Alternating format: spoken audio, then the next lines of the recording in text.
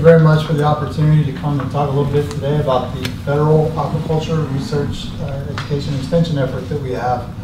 Uh, part of my job at USDA is to make sure uh, that we have our research priorities set such that they actually benefit the industries that we serve. And so that means a lot of connecting with stakeholders, understanding the challenges that they have, and understanding the capacity that we have in our agency uh, to be able to address some of those uh, priorities with science-based um, methods.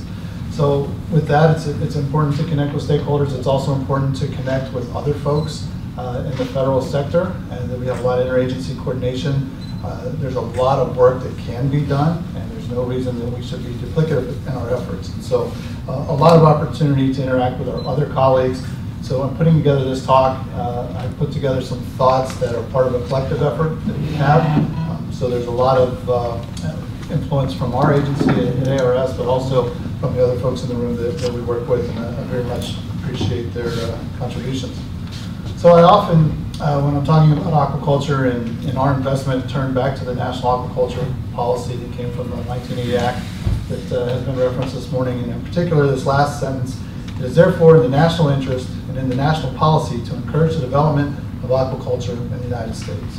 And for me and for many of the folks that, that I work with, um, we are encouraging uh, aquaculture in the U.S. through research, through education, through the extension programs uh, that have been set up in our respective agencies.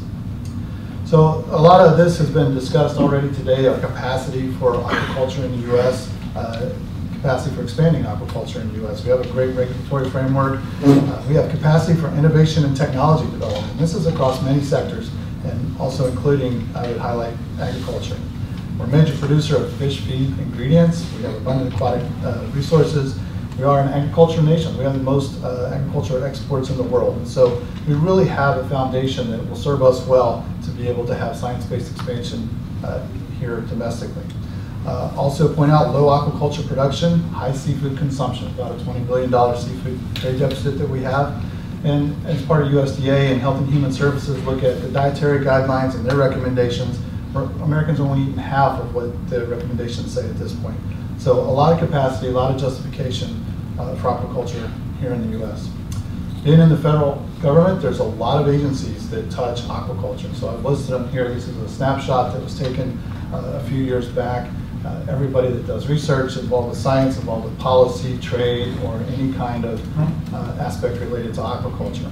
So for this reason, we have uh, what we refer to as a subcommittee on aquaculture.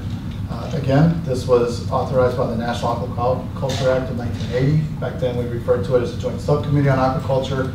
It's been referred to as the Interagency Working Group on Aquaculture, and now the subcommittee on aquaculture that sits under the Committee on Environment. The idea here is to prepare coordinated research and development strategies and recommendations uh, for accomplishing national goals. Uh, and then also serving as a federal interagency coordinating group uh, that can have agencies talking to each other in our nation's capital.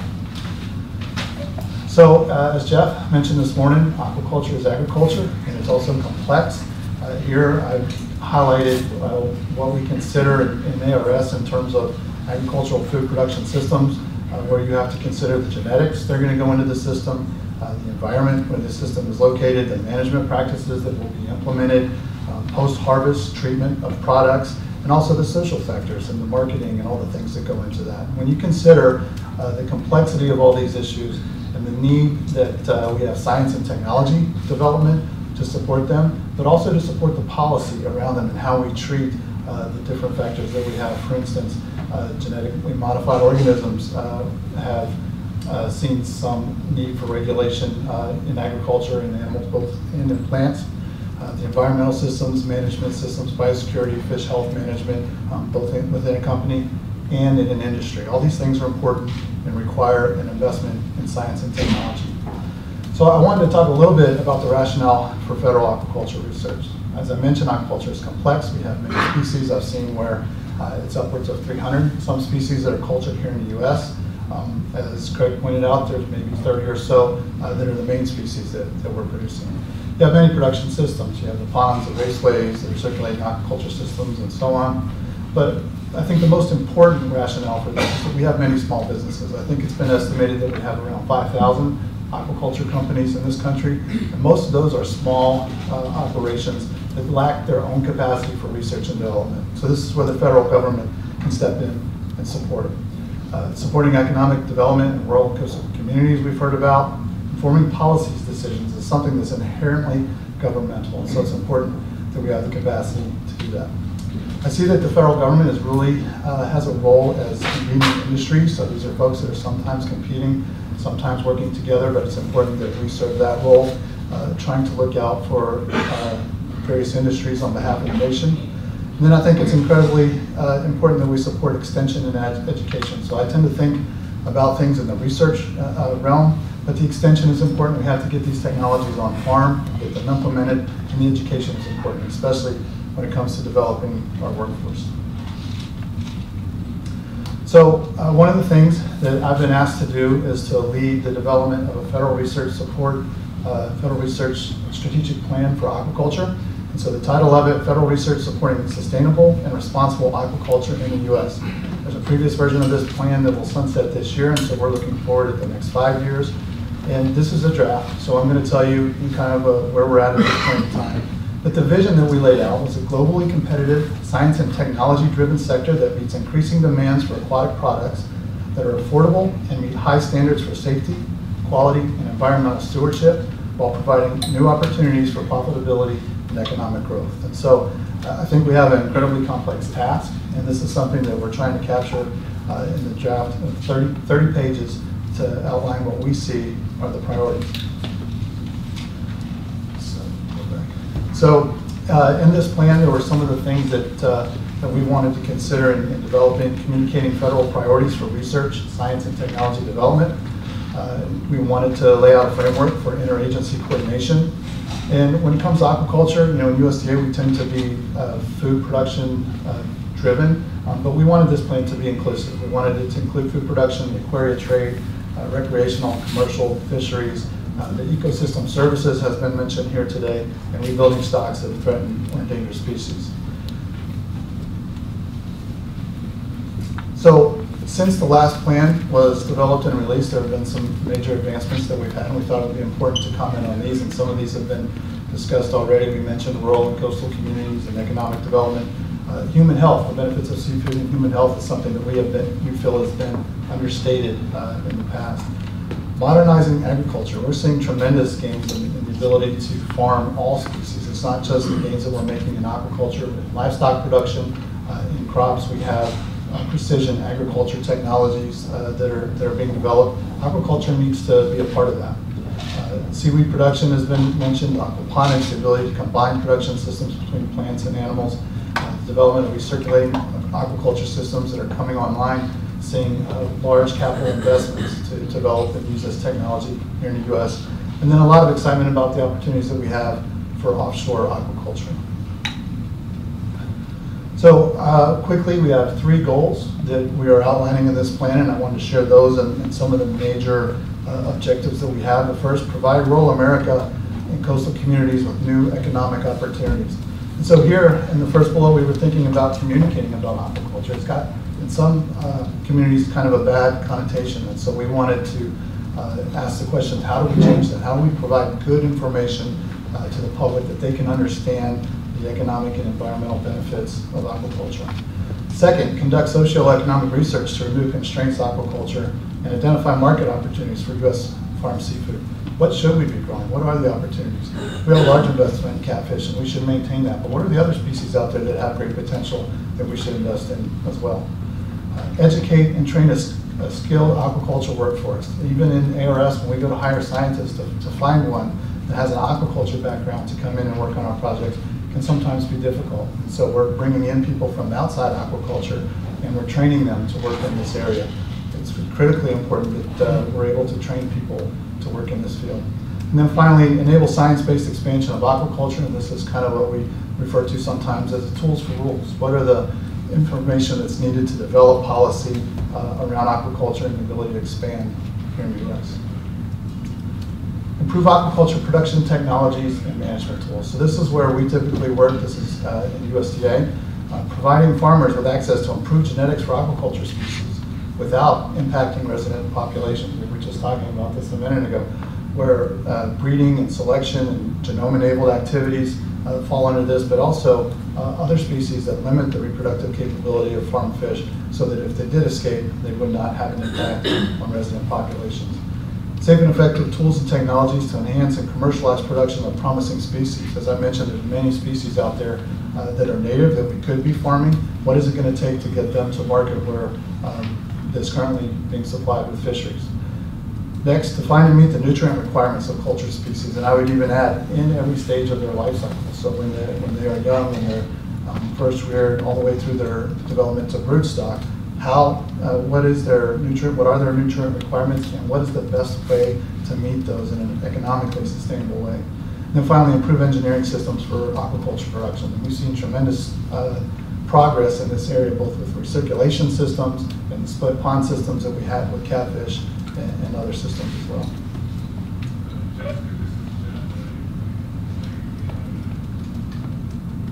So third goal, essentially enhance implementation of One Health approaches for aquaculture.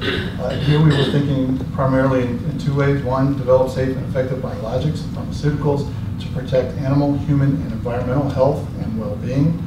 And then the second, promote and demonstrate the safety and healthfulness of domestic farm-raised seafood products. And so there's kind of the animal health uh, component to this and, and the food safety that we think is critically important and looking at a One Health approach uh, as I laid out here, the interaction of host, pathogen, and environment to reduce on-farm uh, losses to disease.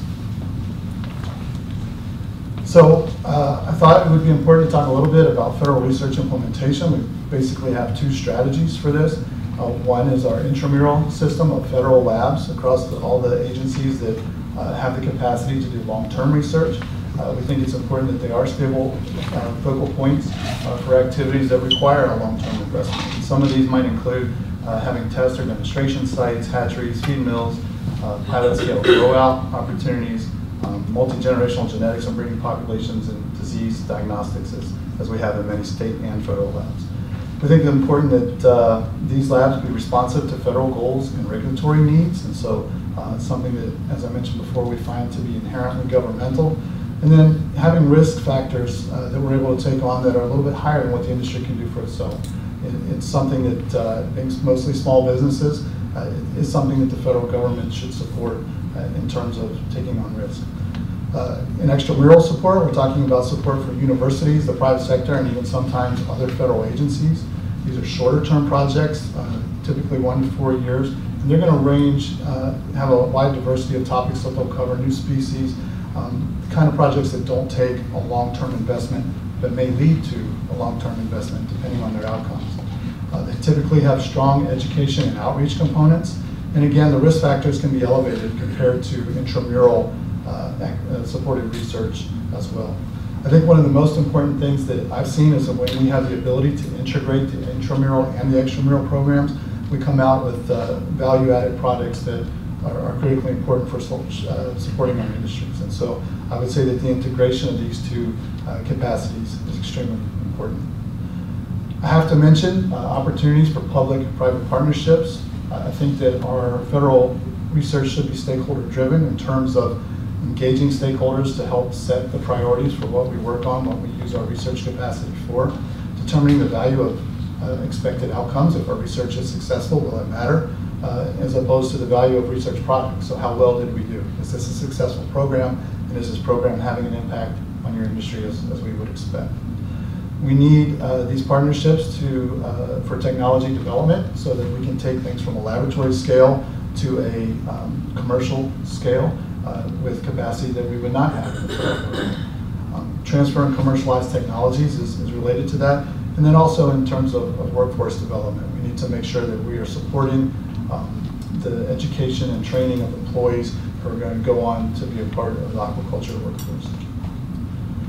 So uh, one of my roles and the roles of the, of the subcommittee that uh, I have the uh, opportunity to participate on is strategic planning. And I pointed out just some of the documents that have come out here in the last several years uh, that are influencing the way we're doing research. Uh, the first aquaculture genetics, genomics, and breeding in the United States.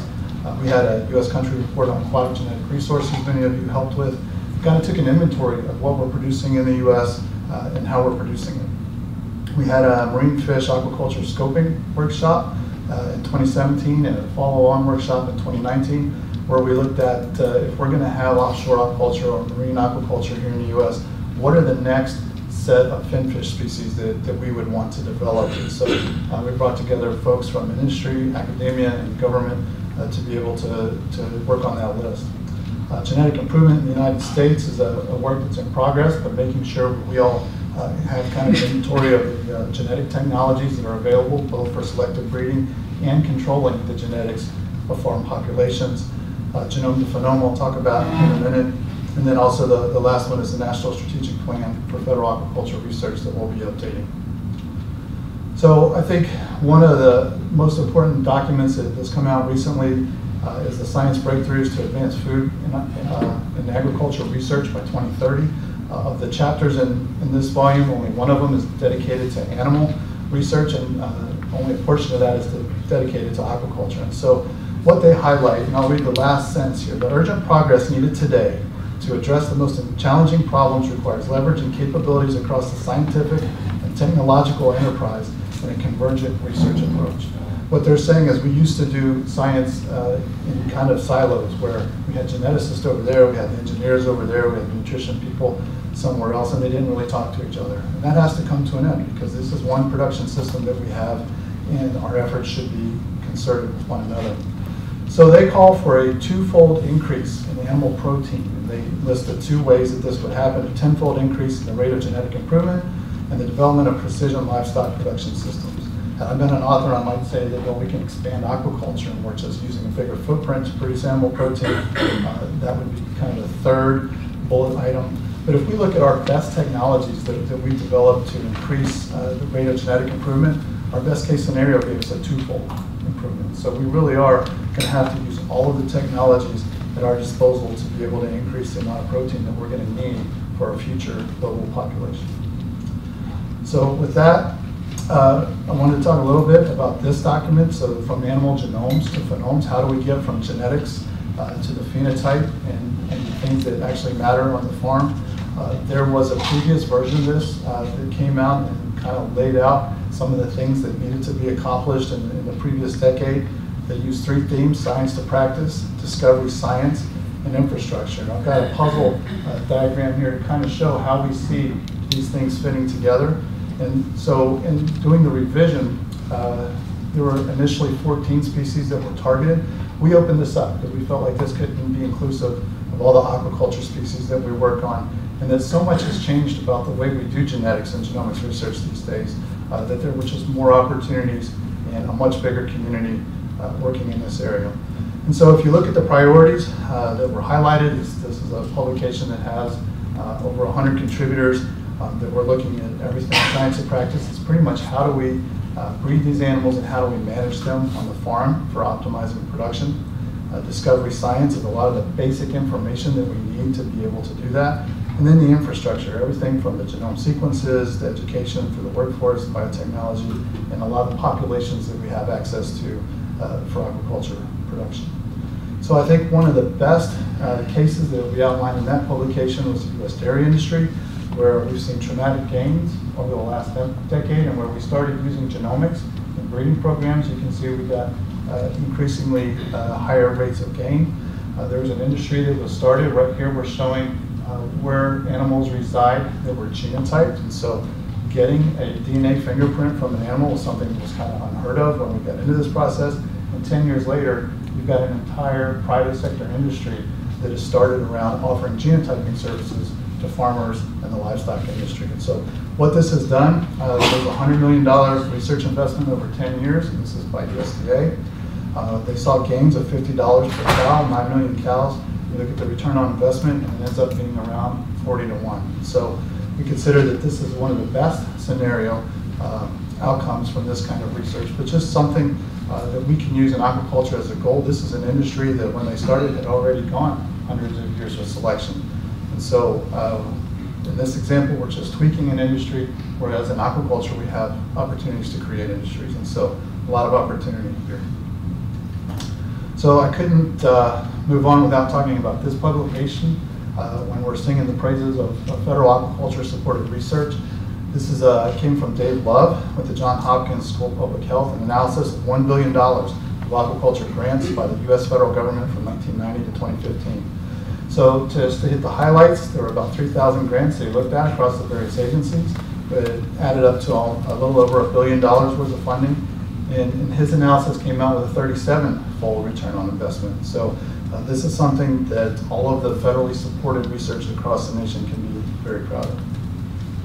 So with that, uh, I'm very pleased to be able to work with a fine bunch of people here in the federal sector that have contributed to uh, the scientific planning that's going on and the interagency coordination. Uh, As one of my colleagues here likes to say, we're from the government and we're here to help. And so uh, that's kind of the mantra that we have. So with that, I'd be happy to take any questions.